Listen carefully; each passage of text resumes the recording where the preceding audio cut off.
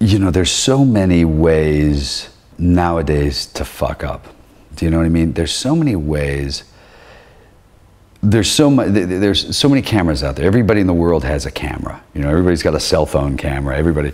So you know, there's one shot of you with your finger in your nose, and it's on YouTube. You know, um, one angry moment, one time coming out of a restaurant drunk, you know, and getting ticked off at somebody.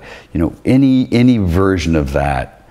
Um, is a you know it, I always feel like you're always just constantly trying to avoid you know I, I keep thinking you know now that there's now that every single human being on earth has a camera phone where are all those UFO pictures now? Where are all those guys? Remember, we used to see like some guy just happened to have a, you know, uh, you know, a Polaroid, and now it's like either you know, it was all bullshit. Or I, I, my theory is that the Martians have decided, don't go down there, man. All those fuckers have cameras now.